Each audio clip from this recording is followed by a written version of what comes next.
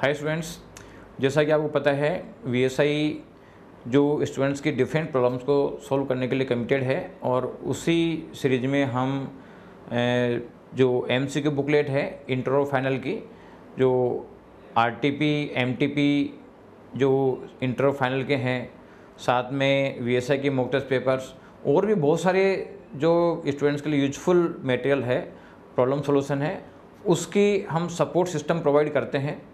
और उसके जो वीडियोज़ हैं, वीडियो सॉल्यूशन है, वो वीएसआई के यूट्यूब चैनल पर मिलेंगे। तो आप उसको सब्सक्राइब करके और बेल आइकन दबा दें, जिससे कि उसको नोटिफिकेशन मिलते रहे। इसका पी पीडीएफ सॉल्यूशन आपको वीएसआई के टेलीग्राम चैनल पे मिलेगा। तो आप उसको भी ज्वाइन करें। और इन दोनों का जो नोटिफिकेशन है, वो नोटिफिकेशन आपको VSI के इंस्टाग्राम चैनल पे मिलेगा। तो आप तीनों को सब्सक्राइब करके रखें, जिससे कि आने वाले हर वीडियो या हर पीडीएफ आपको टाइम पे मिलते रहें और उससे आपके प्रॉब्लम सॉल्यूशन होते रहें।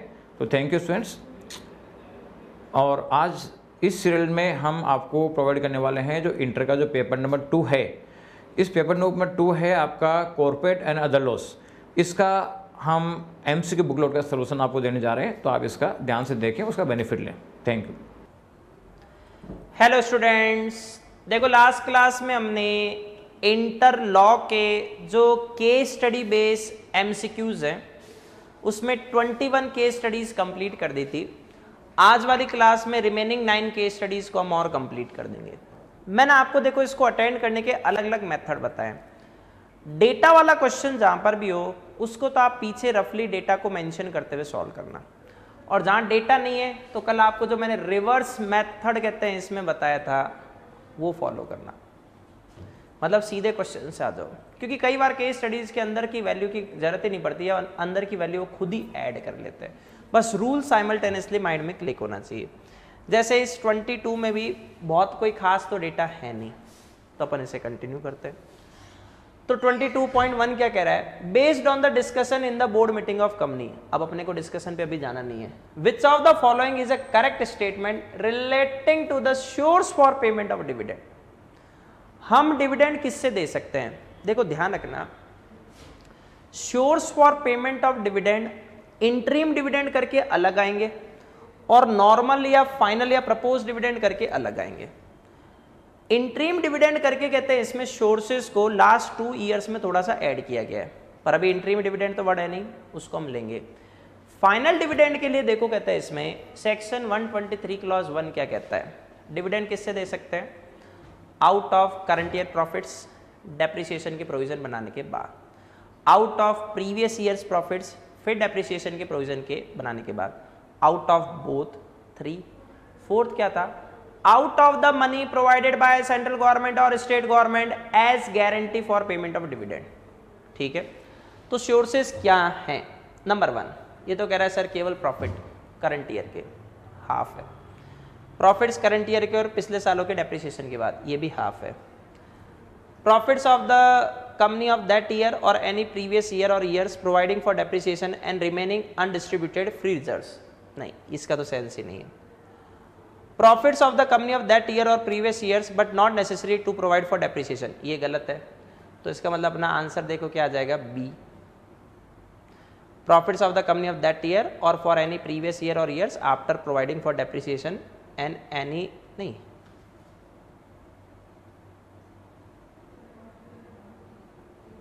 हाँ ठीक है।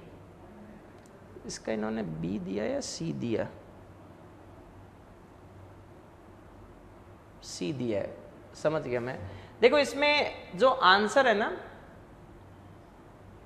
22 पॉइंट कहते हैं इसमें वन का। And any reserves available any reserves word गलत है।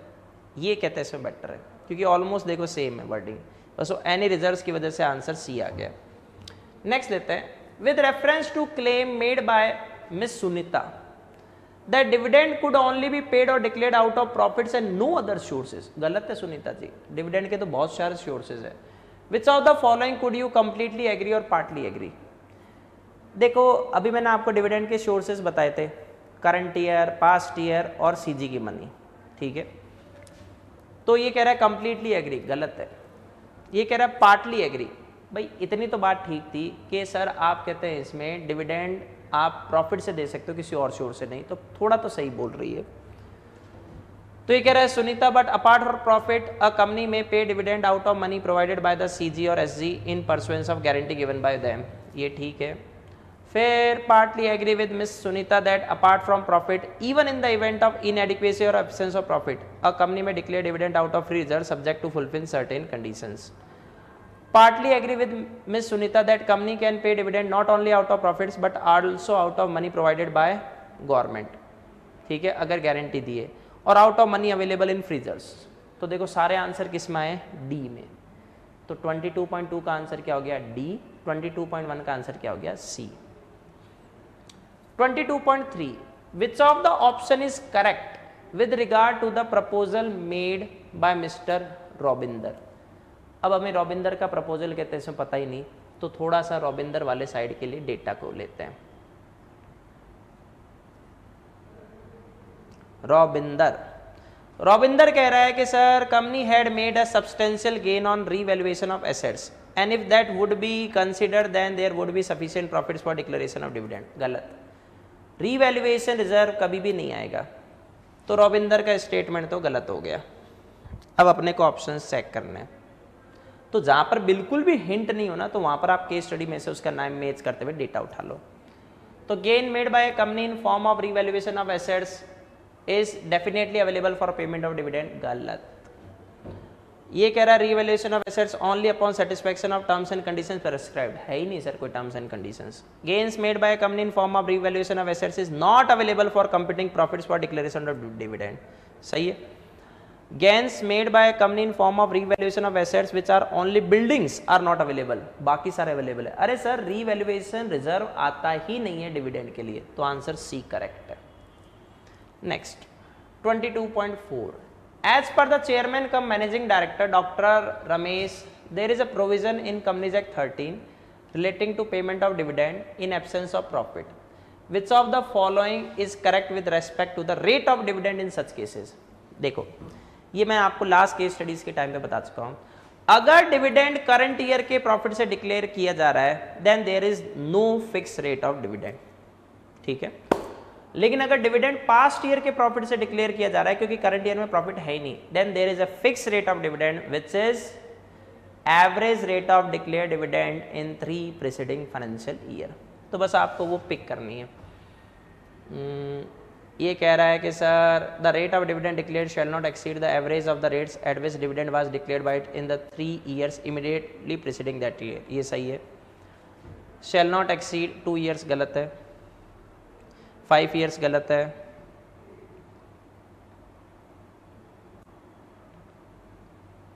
ये कह रहा है in any of the three years immediately preceding that year यहाँ पर क्या था?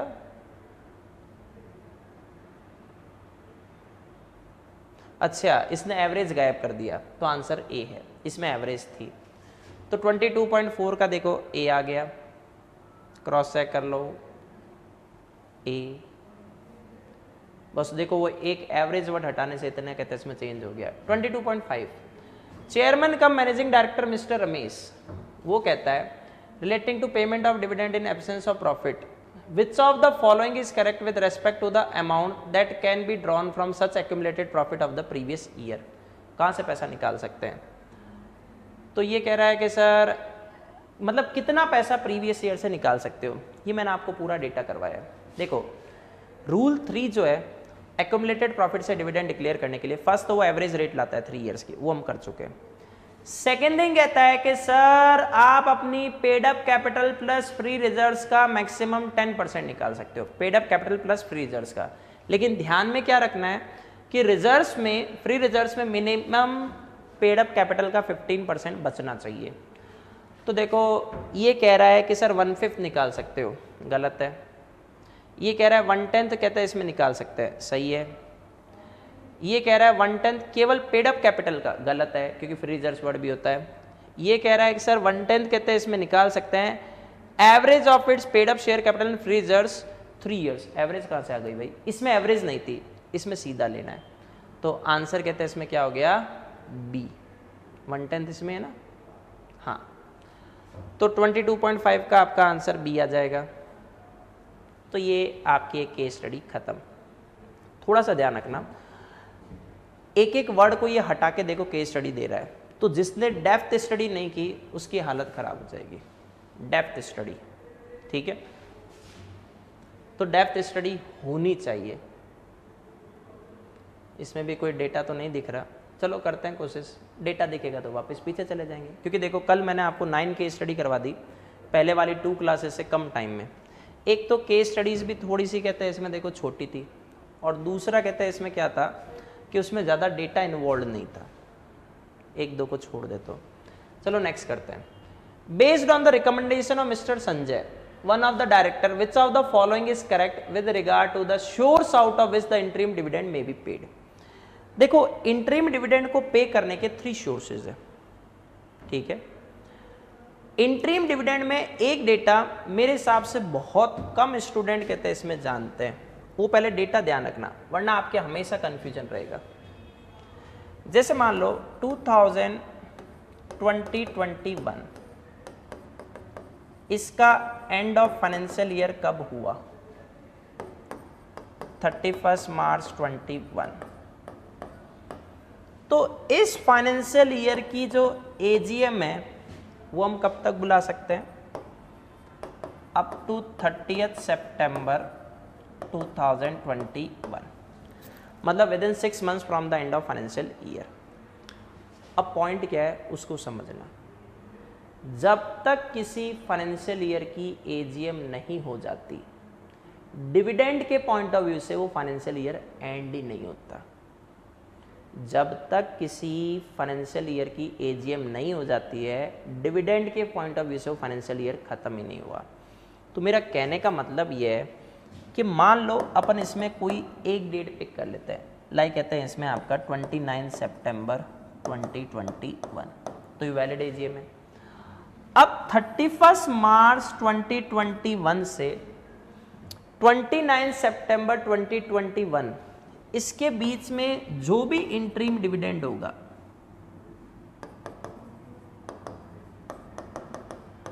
वो माना जाएगा interim dividend of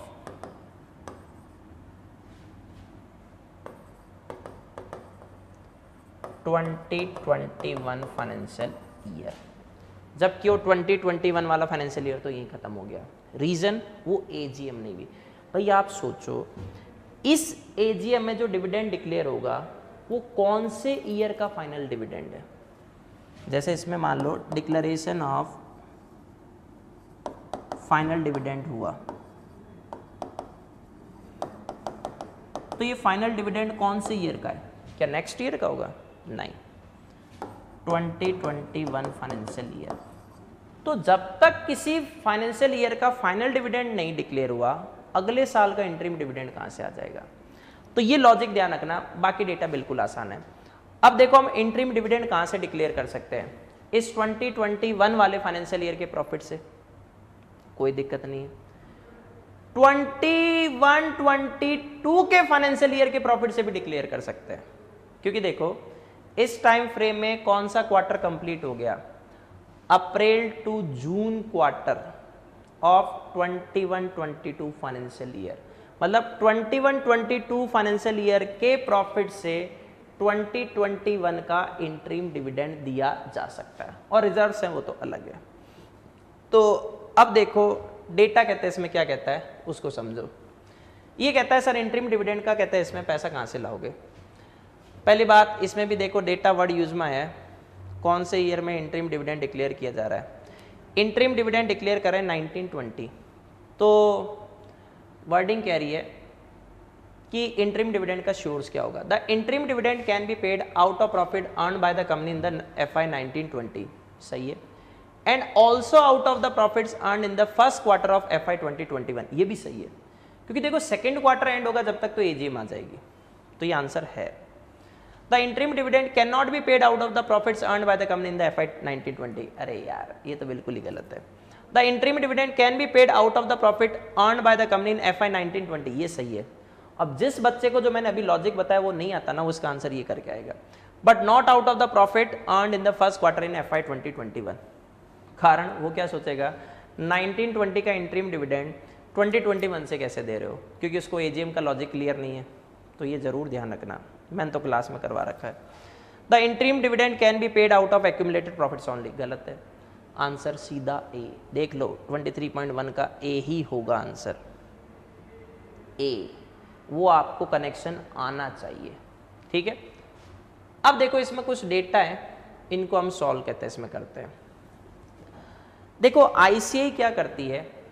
डेट्स के बिया पर एक कंफ्यूजन क्रिएट करती है। कंफ्यूजन क्या क्रिएट करती है? जैसे कोई वर्ड विद इन करके है। तो विद इन का मतलब जो डेट टारगेटेड है,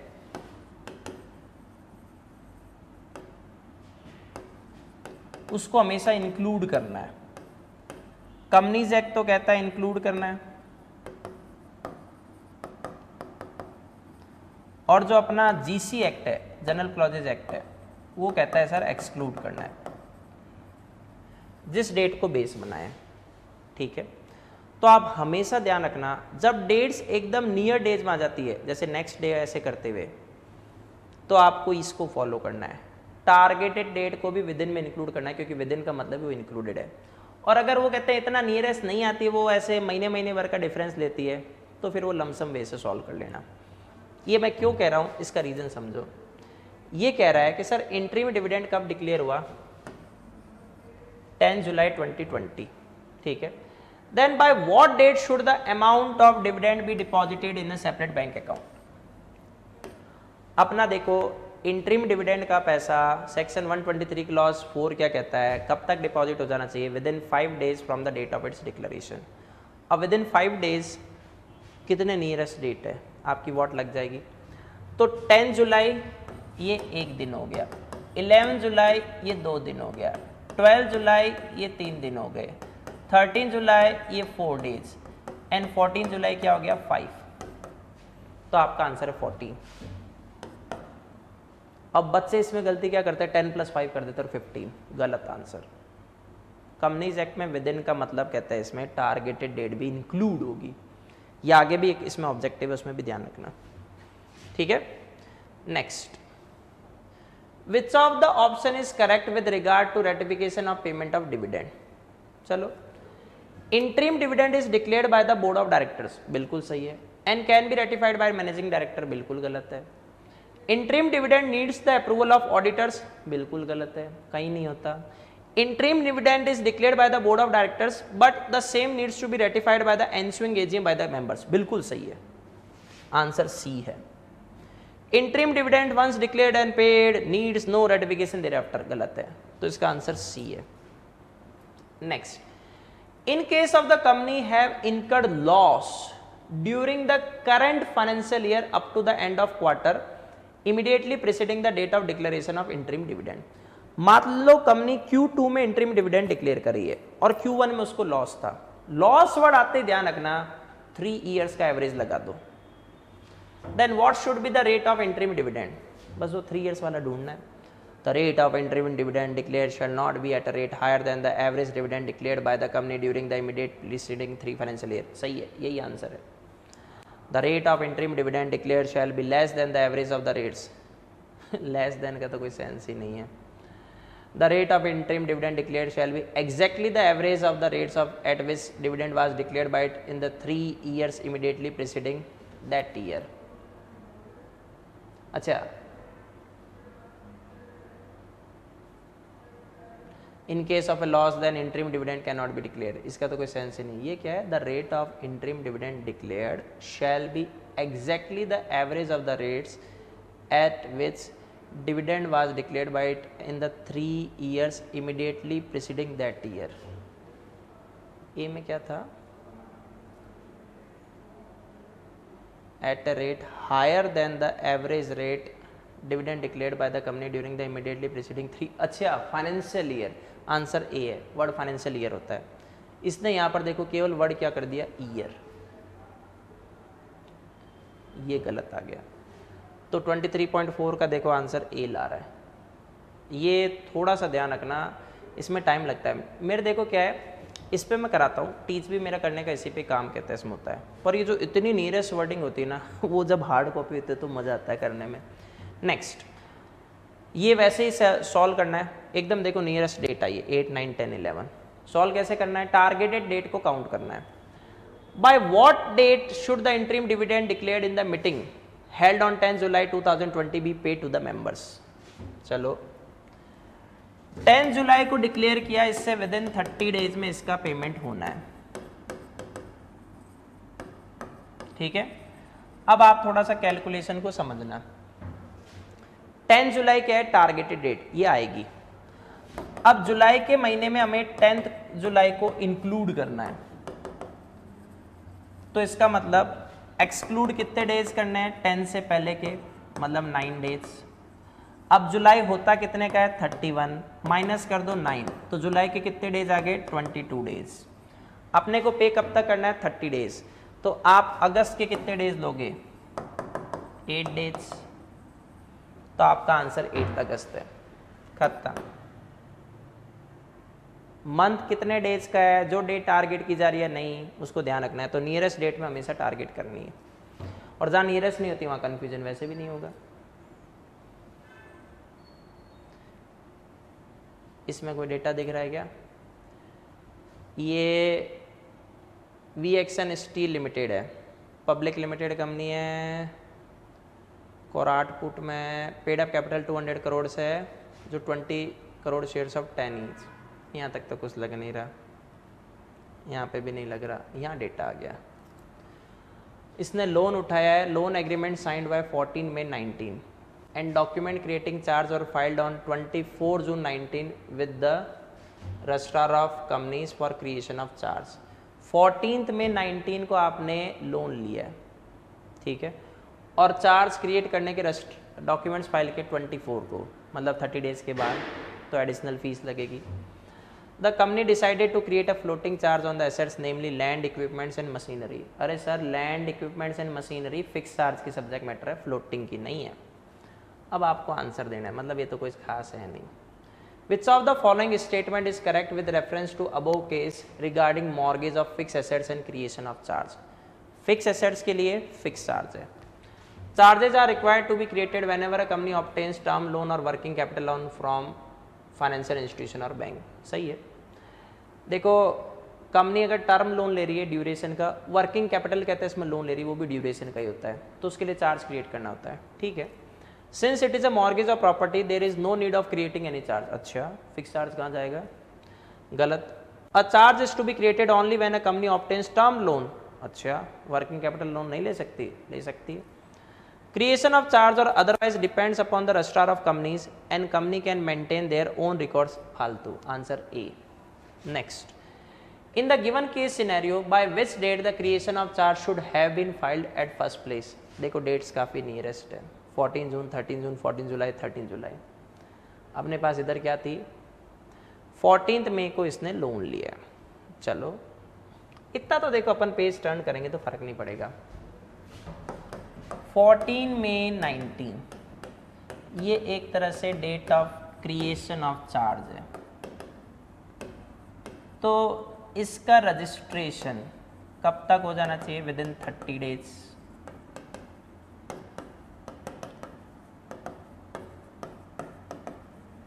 मैंने देखो, आपको अभी डेटा कैलकुलेट करना सिखाया था।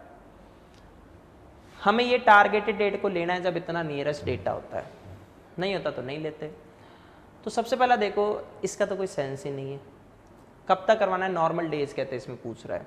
इन द फ़र्स्ट प्लेस ठीक है? तो 14 मई इसको लेंगे। तो कितने नहीं लेंगे? मई में से एक्सक्लूड कितना करेंगे? 13 डेज़ अब मे होता कितने का है? थर्टी वन माइनस क्या कर दो? थर्टीन तो आंसर कितना आ जाएगा? मे के एटीन डेज़ भाई थर्टी वन माइनस थर्टीन कर दो तो मे के कितने डेज़ उस गए एटीन अब अपने को कहते हैं इसमें जून के कितने डेज़ और लेने? ट्वेल्व इसमें डेट फोर्टीन में थी ना।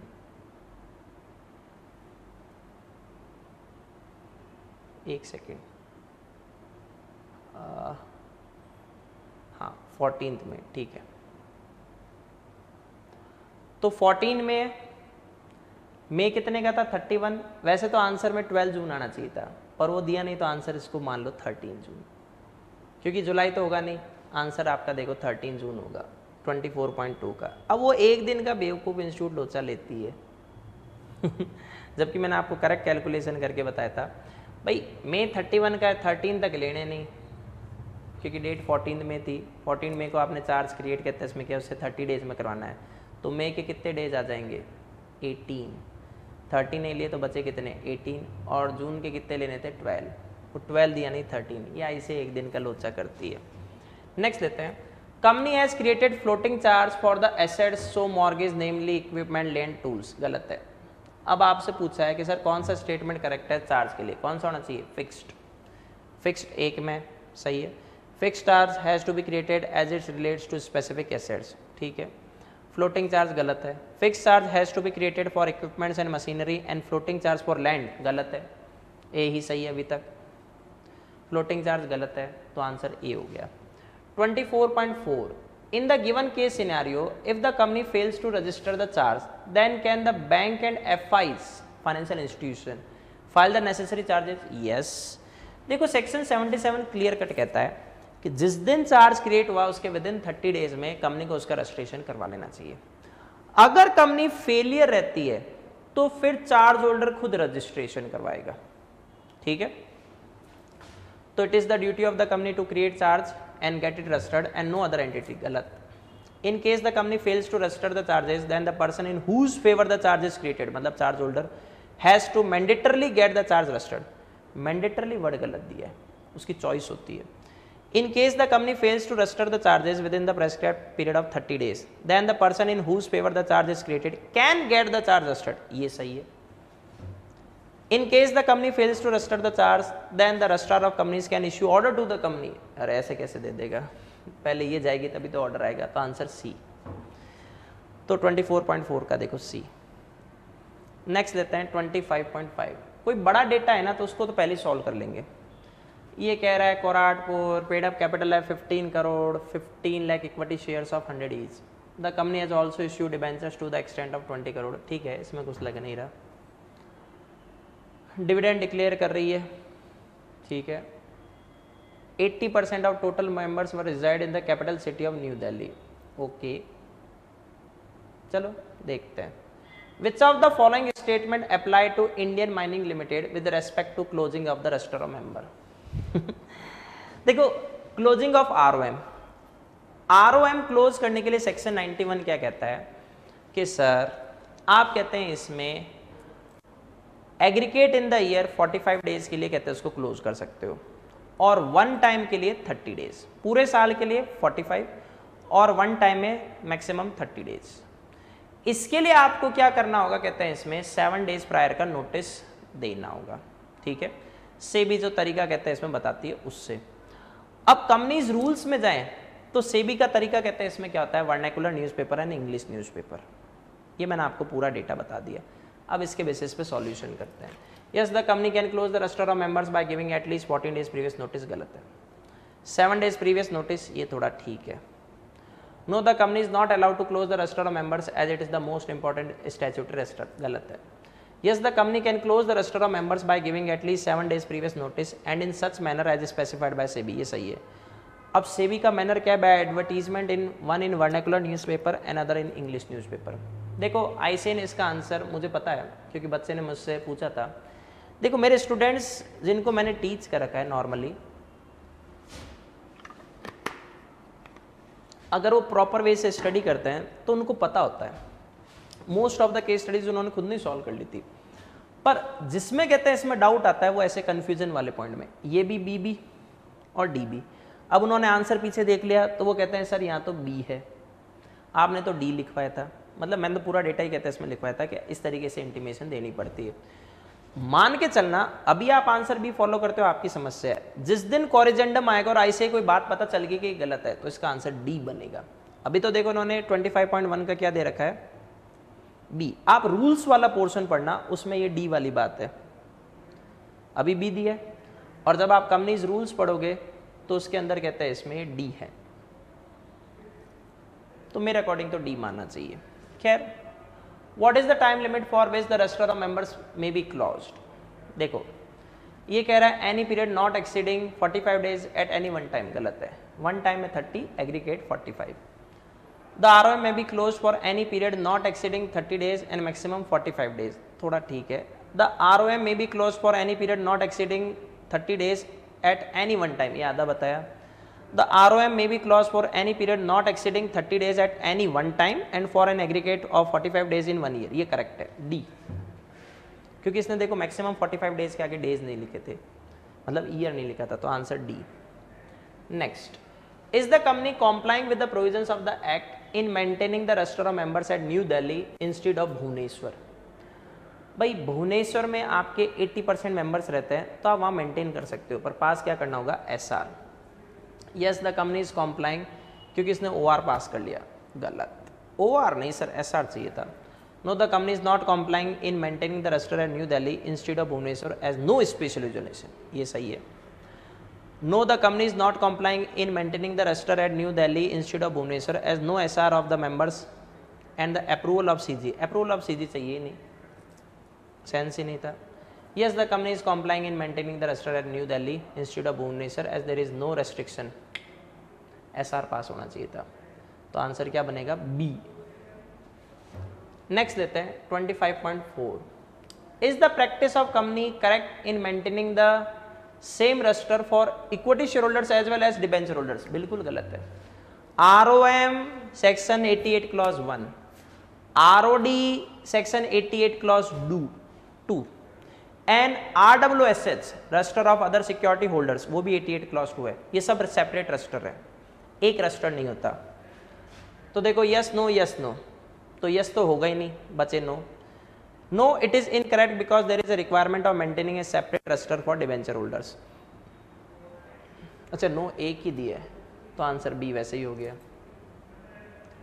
The company has a practice of making the entries in the register of members within ten days of the date of approval by the BOD घर का ही राज है। जिस दिन बीओडी ने अप्रूवल दी, कल करवाया है विद इन सेवन डेज़ में एंट्रीज हो जानी चाहिए।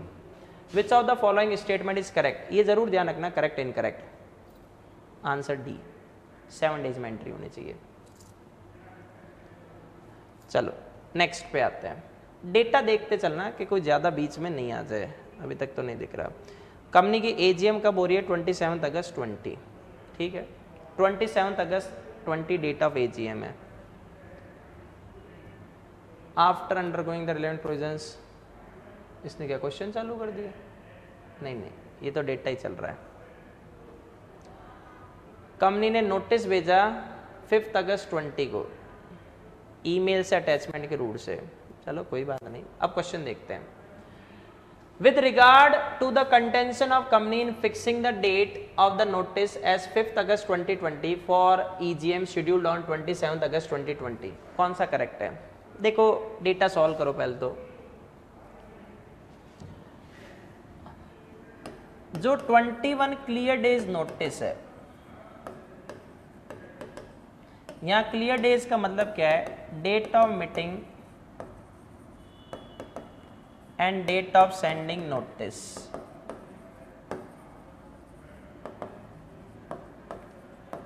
इन दोनों को इस 21 डेज़ में एक्सक्लूड करना है। मतलब काउंट नहीं करना। तो एक तरह से कितना हो गया? 21 वन प्लस टू बराबर ट्वेंटी डेज़ होने चाहिए। सही है? लेकिन if notice is given by post अगर आप पोस्ट के रूट से नोटिस दे रहे हो तो एडिशनल 48 आवर्स अब इस क्वेश्चन में हमने अभी देखा था कंपनी किससे भेज रही है? ईमेल से बाय वे ऑफ़ अटैचमेंट तो हम नोटिस इन राइटिंग भी दे सकते हैं इन राइटिंग का मतलब पोस्ट और नोटिस हम इलेक्ट्रॉनिक मोड से भी दे सकते हैं लाइक ईमेल तो ईमेल में आप अटैचमेंट नोटिफिकेशन यूआरएल के रूट से भेज सकते हो। तो यहाँ पर अपना ये डेटा तो एप्लीकेबल नहीं होगा।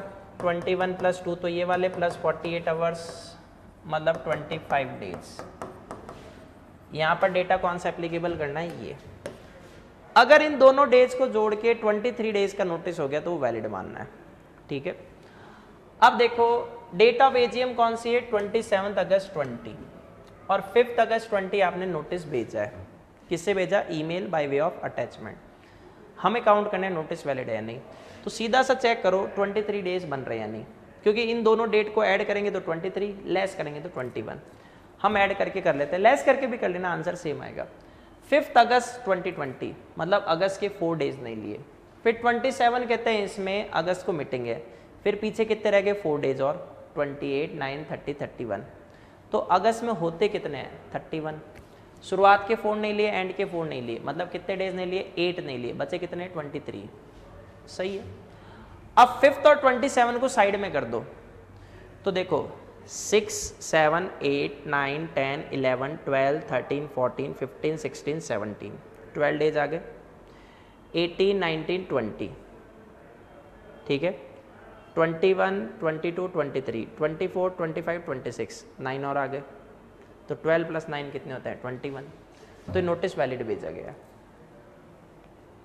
Notice not correct notice should be dated fourth August. नहीं सर ज़रूरत नहीं है, क्योंकि उससे सेंस नहीं बनता। सिक्स और ही लेट हो जाता। Yes it is correct only if notice is send by email अगर पोस्ट से भेजते तो करेक्ट नहीं होता। तो आंसर सी हो गया।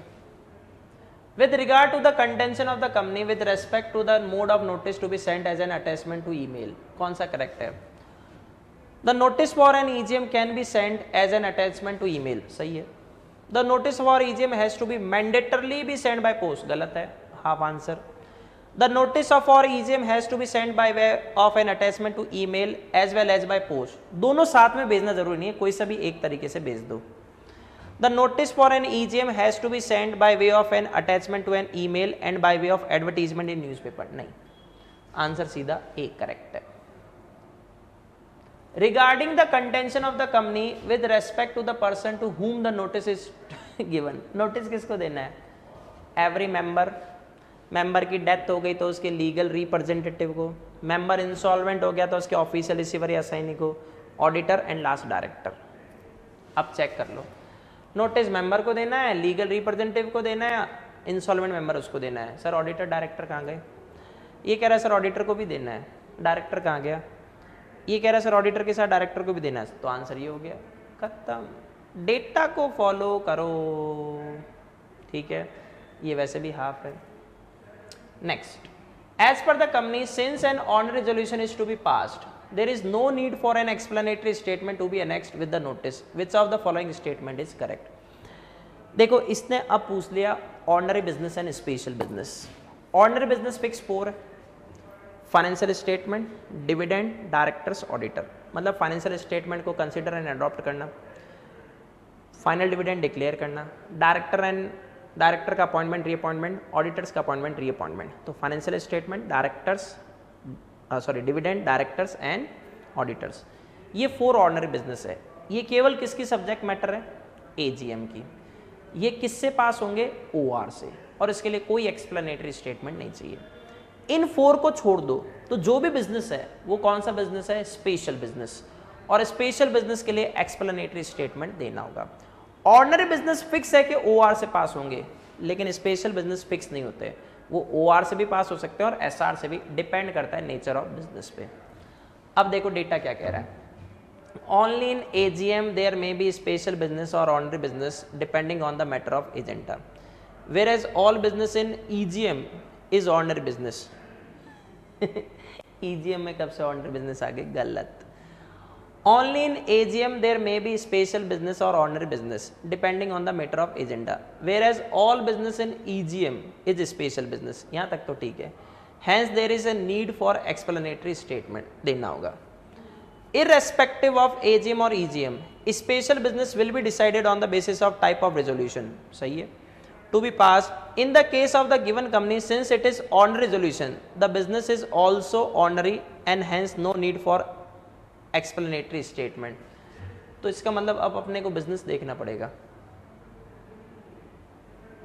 26.4 इसका बिज़नेस कहाँ पर है?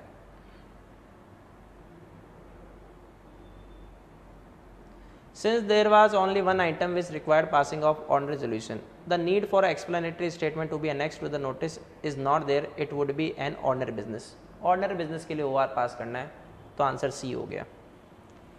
क्योंकि देखो, जहाँ डेटा में कंफ्यूजन हो ना, वहाँ पर वापस पढ़ लो तो इसका आंसर सी बेटर है। Would you agree with the company's contention as given in question point E above तो वैसे तो ऊपर चले जाओ। Of curtailing the length of notice as the matter is permitted in the articles of association of the company क्या AOA की इतनी औकात है कि वो 21 डेज़ के नोटिस का टाइम कर्टेल कर दे, कम कर दे? संभव ही नहीं है। वो स्टैचुटरी टाइम है वो तो फॉलो करना चाहिए। करेक्ट गलत है। The contention of company is not correct because the statutory position on the length of notice would prevail over articles of the company with respect to the minimum length of notice सही है। Correct गलत है। Not correct because it did not provide news नहीं। B तो ये 26 खत्म। अब next लेते हैं 27 इसमें थोड़ा डेटा था। The Dohra part company limited is a 50-50 joint venture between two giant companies, and limited and B N T limited कोई बात नहीं। It's paid up capital is rupees fifteen hundred crore divided into fifty ये कितना हो गया? Three two मतलब fifteen lakh तो इस पर बन जाता है। फिफ्टीन करोड़ शेयर्स है, ठीक है of hundred each the number of members ये काम का डेटा है। पब्लिक कंपनी कितने मेंबर्स है? Eight thousand five hundred members quorum किससे बनेगा? फाइव थाउज़ेंड को क्रॉस कर गया ना डेटा तो कॉरम किससे बनेगा? थर्टी मेंबर से। कॉरम कब तक प्रेजेंट हो जाना चाहिए?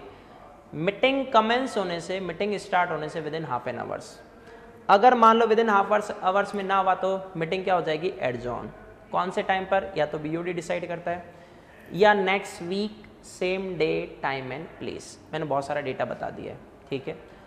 कॉरम में देखो, कहते हैं इसमें कौन काउंट नहीं होता? प्रॉक्सी काउंट नहीं होता। हम लास्ट क्लास में कर चुके हैं। कौन काउंट होगा?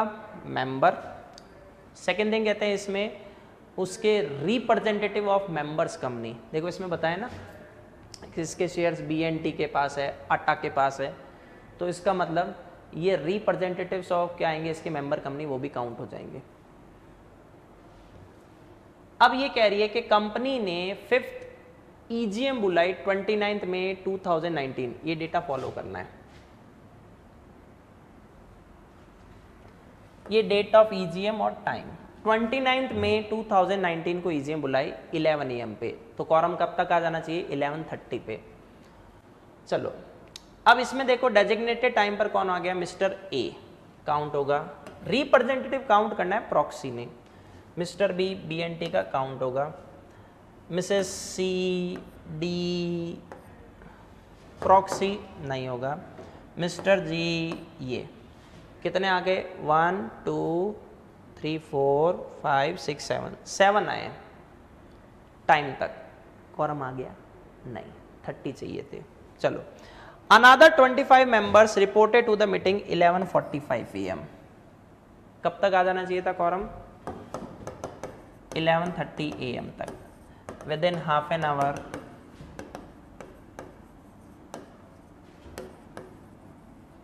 from commencement of meeting क्या आया था? क्या quorum within half an hour में आया था क्या? नहीं। तो इसका मतलब कॉरम प्रेजेंट ही नहीं।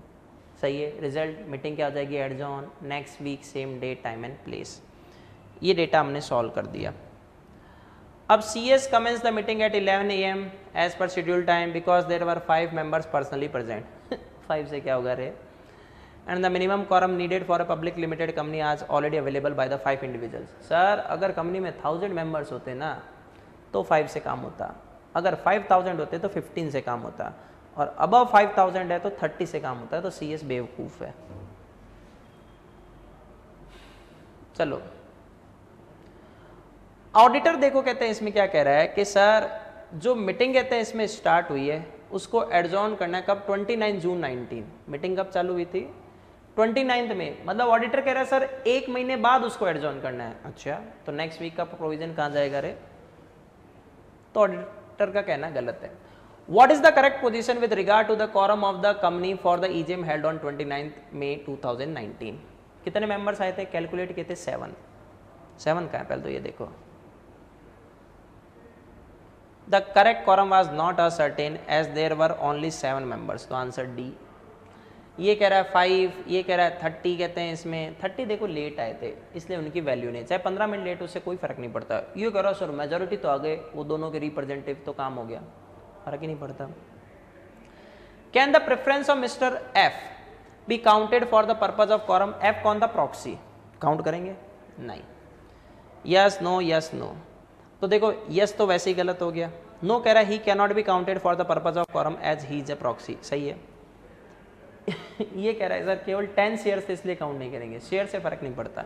B is the objection of the auditor correct with respect to the adjournment of the meeting due to want of quorum देखो, जो सी एस या ऑडिटर कह रहा है कि सर मीटिंग को एडजॉन कर दो, क्योंकि कॉरम नहीं आया, वो तो बात सही है। लेकिन वो नालायक एक महीना आगे एडजॉन करे, वो गलत है।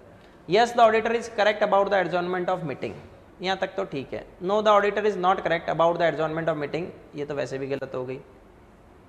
Yes the auditor is correct about the lack of quorum but not correct about the adjournment of meeting ये सही है।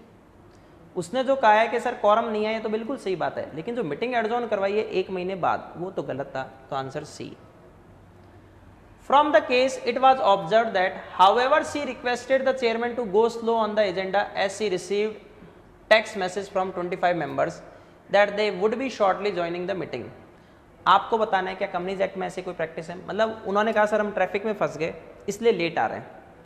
तो थोड़ा मीटिंग लेट स्टार्ट करना। घर की बात थोड़ी चल रही है। शादी का फ़ंक्शन है कि जैसे थोड़ा लेट कहते हैं केक काट लेना, वो माड़ा पहना देना। नहीं, ऐसा कोई प्रोविज़न है ही नहीं। Yes yes no no no it is never allowed as there is no validity of message being sent at the time of meeting no, it is not allowed as the law provides for the requirement of quorum within half an hour. Answer d. दिमाग मत लगाओ। Next 28 इसमें भी कोई data है क्या? AGM कब हो रही है? थर्टी सितंबर 2019 ठीक है। और कुछ है क्या? क्या था? थर्टी सितंबर 19 था क्या डेटा एक सेकेंड थर्टी सितंबर 19 मतलब लास्ट डे को ही हो रही है। चलो आपको बताना है what is the correct position with regard to the time for opening of remote E voting देखो रिमोट ई वोटिंग आज के टाइम में फैसिलिटी है, क्योंकि बहुत सारे मेंबर्स मीटिंग में जाते नहीं हैं। तो remote E voting minimum three कहते हैं इसमें डेज़ के लिए प्रोवाइड होनी चाहिए। और मीटिंग स्टार्ट होने से जस्ट पहले वाले दिन शाम को पाँच बजे बंद हो जानी चाहिए।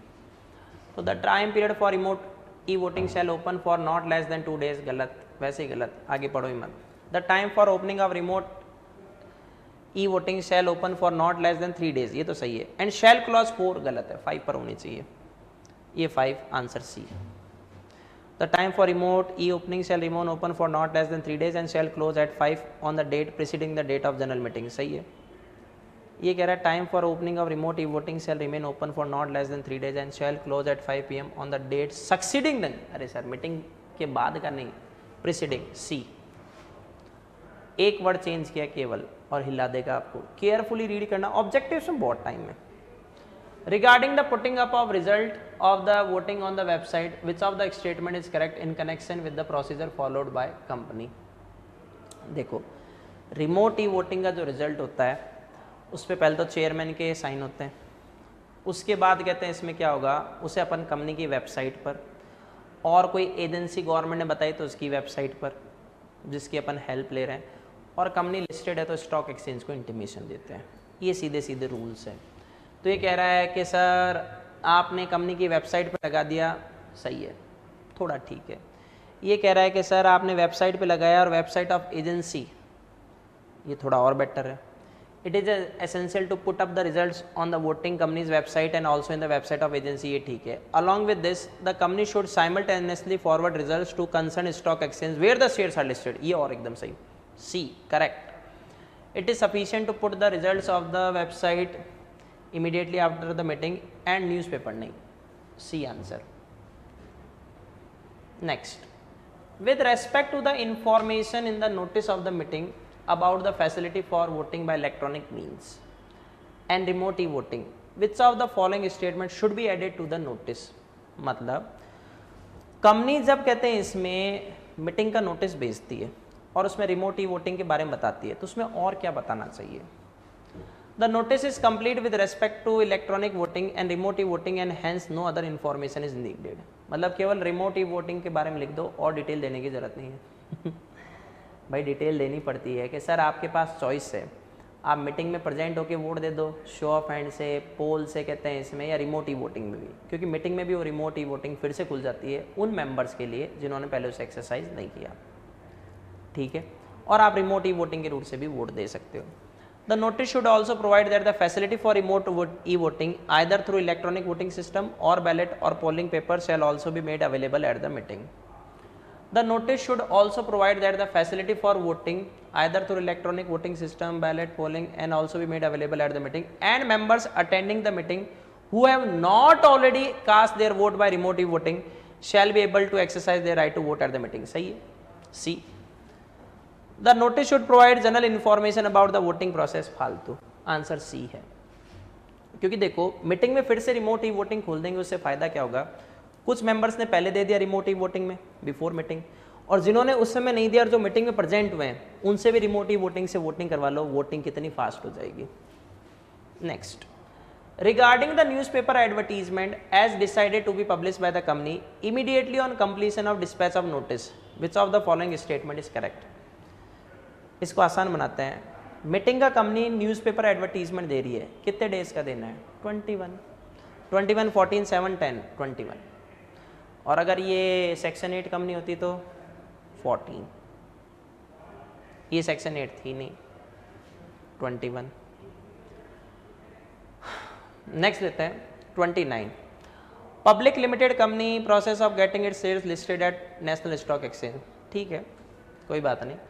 He approaches the company on 26 7th August 2020 and requests the company secretary to permit inspection of minutes book at 2 PM minutes book का इंस्पेक्शन देखो मिनट्स बुक का इंस्पेक्शन मेंबर करने जा रहा है तो एक तो फोकट में करेगा फ्री ऑफ़ कॉस्ट कब करेगा? During business hours of a working day inspection के लिए उसे मेंबर को कोई फ़ीस देने की ज़रूरत नहीं है.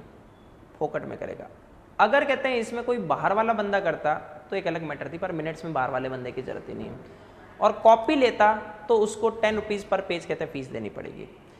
इंस्पेक्शन के लिए कंपनी की ड्यूटी है कि उसको रीजनेबल टाइम प्रोवाइड करना चाहिए, जो minimum two hours in a day होता है। Two hours become business hours of a working day और कॉपी कहते हैं इसमें कब, क्योंकि ये डेटा दिखते ही क्वेश्चन का आइडिया तो लग गया। और कॉपी कब तक प्रोवाइड कर देनी चाहिए? जिस दिन वो फ़ीस डिपॉजिट करा देता है, उसके विद इन सेवन डेज़ में। चलो डेटा को लेते हैं कंपनी कह रही है कि सर सॉफ्ट कॉपी के लिए 50 पर पेज क्यों सॉफ्ट कॉपी में आपका खर्चा आ रहा है नहीं देखो लास्ट थ्री इयर्स के मिनट्स की soft copy free of cost मिलती है क्वेश्चन लेते हैं when the member mr jyoti rajan approached the company on 27th august 2020 and requested the company secretary to permit inspection of minutes book he was refused the inspection saying that he could apply for taking copies of the minutes of the meeting and not entitled to inspect the minutes book at the office. क्यों भाई? क्यों नहीं कर सकता? Inspection उसका right है।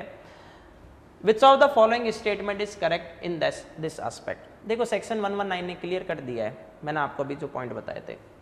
तो inspection of minutes of general meeting can not be permitted गलत। Permitted during business hours to any member with charge with charge गलत। Inspection of minutes of general meeting is permitted during business hours to any members without charge सही है आगे बढ़ते हैं subject to reasonable restriction as specified in articles or as imposed in general meeting for at least four hours four hours गलत है बचाइए ऊपर की लाइन सेम या टू आवर्स है बिल्कुल सही आंसर डी नेक्स्ट लेते हैं एक second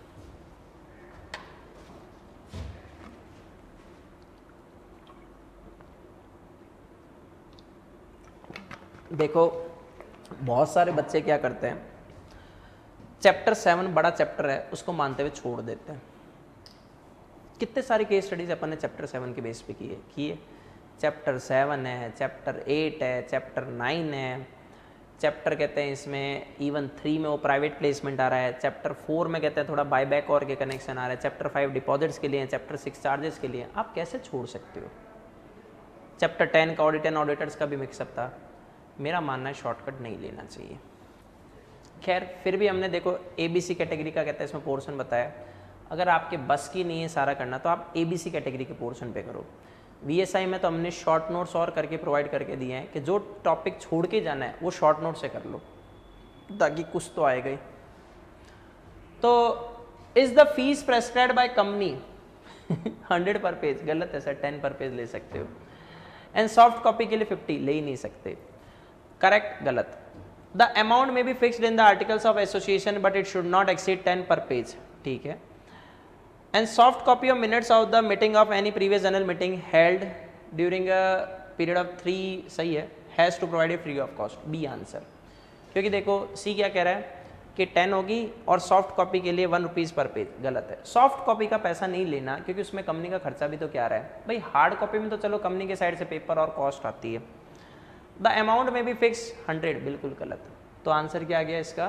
B next mister Jyoti Rajan waited for ten days and when no copies were made available to him he again approach the company for copies मतलब ज्योति राजन ने company को fees दे दी। Company के ए में लिखा था कि, सर 14 डेज़ के बाद कॉपी देंगे। तो उसने बेचारे ने टेन डेज़ वेट किया, फिर पहुँच गया। तो वहाँ पर उसको कहा गया कि, सर ए ने 14 डेज़ का है तो आपको 14 डेज़ के बाद मतलब 11 सितंबर 20 तक कॉपी मिलेगी। कॉपी कब तक पे देनी है? जिस दिन फ़ीस मिली उसके सेवन डेज़ में। ठीक है?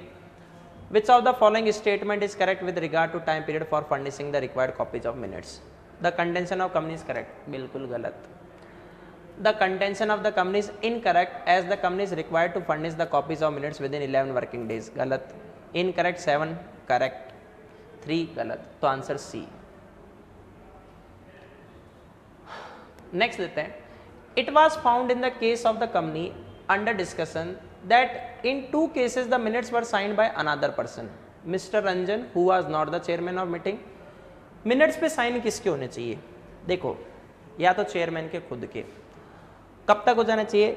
Within thirty days from the conclusion of meeting अगर चेयरमैन कहते हैं अवेलेबल नहीं है फॉरेन चला गया, जिस हाथ से साइन करता हो पैरालाइज हो गया, या मान लो चेयरमैन को कोरोना है लंबा वाला कहते हैं इसमें, सही हुआ, फिर कोरोना हो गया तो वो तो नहीं कर सकता।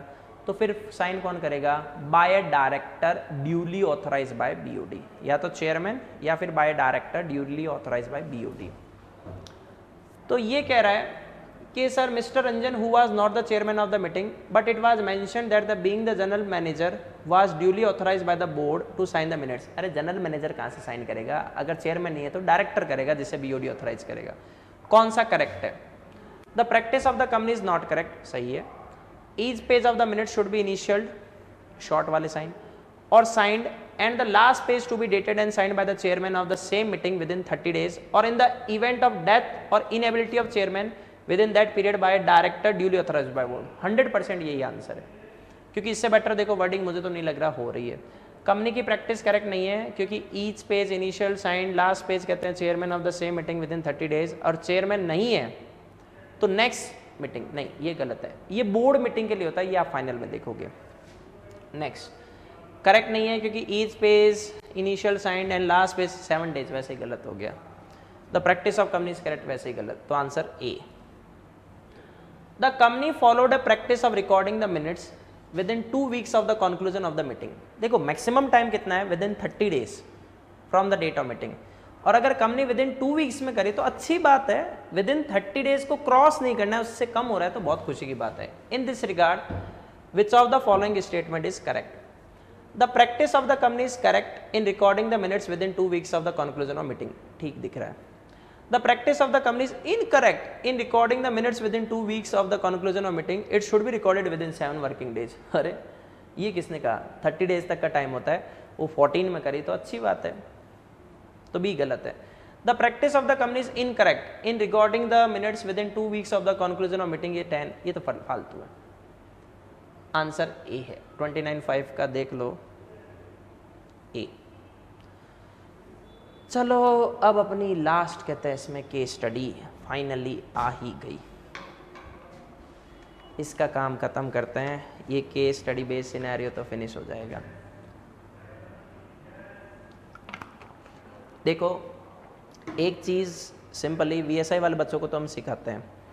ये केस स्टडीज़ बार वाले बच्चों को भी दी जा रही है। मैटर आईसीआई का फॉलो करो। वर्डिंग टफ है, उससे फ़र्क नहीं पड़ता। कीवर्ड्स मेन मेन फॉलो कर जाओ, पर मैटर आई का फॉलो करो। आई से अपने डेटा से बाहर देखो, एक भी क्वेश्चन नहीं निकाला।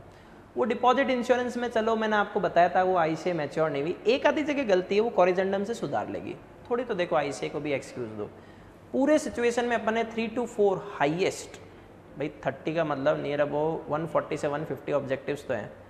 थ्री टू फोर में आई ने कहते जल्दबाजी की है। कोई बात नहीं प्रिंटिंग मिस्टेक और की वजह से भी कई बार हो सकती है। उसको कॉरिजेंडम से सुधार दिए बाकी तो अच्छे क्वेश्चंस दिए ना, इतनी डेप्थ कोई बच्चा नहीं सोचता कि ऐसे भी क्वेश्चंस आ सकते हैं। अभी देख लो, ये जो मे 21 का अटैम्प्ट जुलाई में शिफ्ट हुआ था पेपर अरे लॉटरी कुछ नहीं था, पर उसमें केस स्टडीज़ केस स्टडीज़ भरी हुई थी। तो केस स्टडीज़ की प्रैक्टिस होनी चाहिए। खैर, एक कंपनी ट्वेल्थ को इनकॉर्पोरेट हुई रजिस्टर्ड ऑफ़िस कहाँ है? देहरादून। ब्रांच दिल्ली है। मतलब रजिस्टर्ड ऑफ़िस देहरादून है ये ध्यान रखना है। Company books of accounts and relevant books कहते हैं, इसमें बना रही है। अच्छी बात है। Books of accounts, double entry system, चलो देखते हैं। मोटा डेटा तो लग नहीं रहा और क्वेश्चन भी छोटा ही है। कोई काम का डेटा है, नहीं, देख देख लेंगे, चलो। What is the company law requirement with reference to books of accounts that is required to be maintain by magic cosmetic private limited कौन कौन सी बुक्स ऑफ़ अकाउंट्स कहते हैं, इसमें कंपनी को मेंटेन करनी है? देखो फोर चीज़ें, ठीक है? तो वो बुक्स कंपनी को कहता है, इसमें क्या करनी पड़ती है? मेंटेन करनी पड़ती है.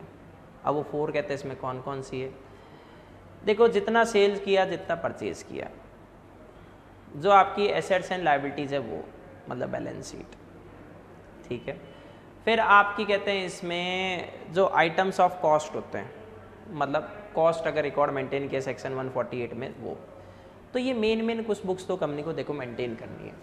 तो हम इसमें चेक करते हैं, उससे आ जाएगा। Record maintain in respect of all sales and purchase of goods and services by the company and the assets and liabilities थोड़ा सही है। Sum of money received and expended ये भी सही है। ऑल सेल्स एंड परचेज मतलब एक और बढ़ा दिया। ये भी ठीक है। Record maintain in respect of sum of money received अच्छा कॉस्ट आंसर सी सीधा सी, ये फोर थिंग्स ही मेंशन करनी होती है ऑल फोर आ गई It has been stated that the company maintains its books of account in a place, Jaipur. Other than the registered office, Dehradun of the company. अब आपको बताना है कि क्या company books of accounts other than registered office maintain कर सकती है? Yes इसमें बीओडी का डिसीज़न होना चाहिए।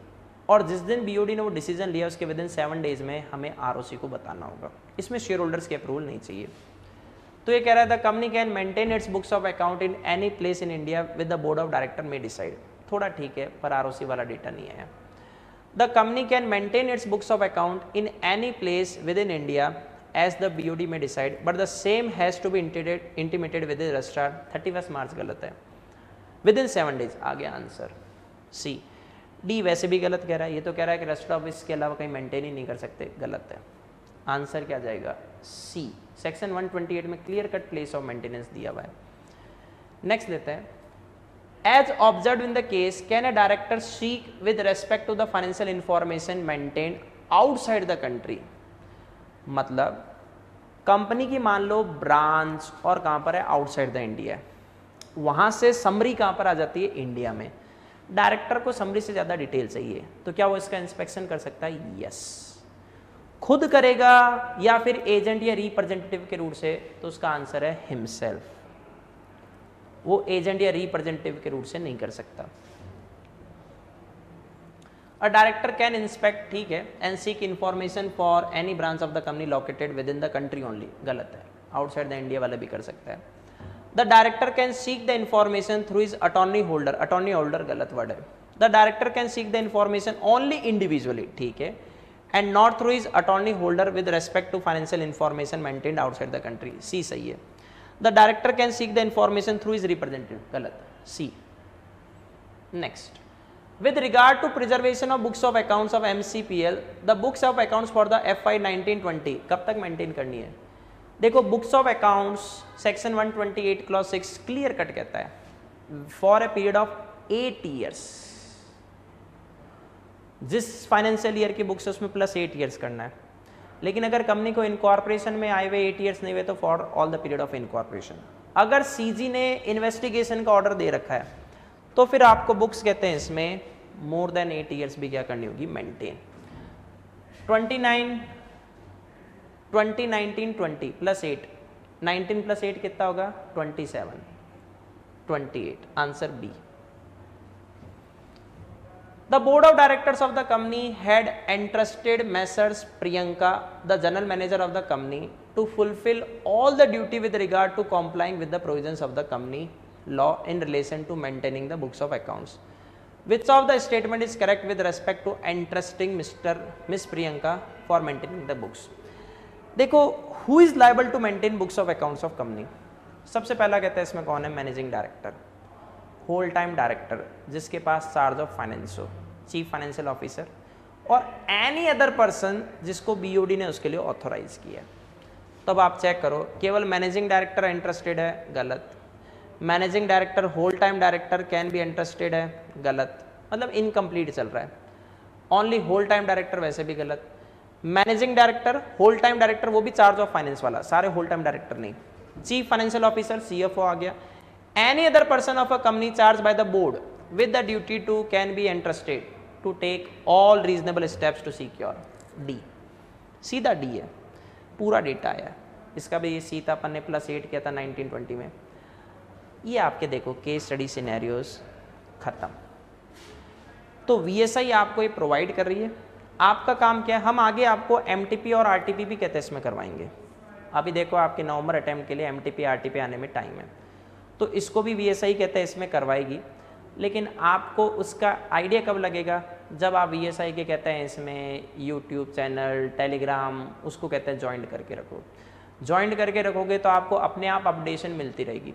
नहीं तो फिर आप कहते हैं, इसमें किसी और शोर से पता करो। जब आपको फैसिलिटी मिल रही है तो जा क्या रहा है। ठीक है? मेरे साइड से इंटरलॉक के case study scenarios all thirty complete आप इनको कर लेना।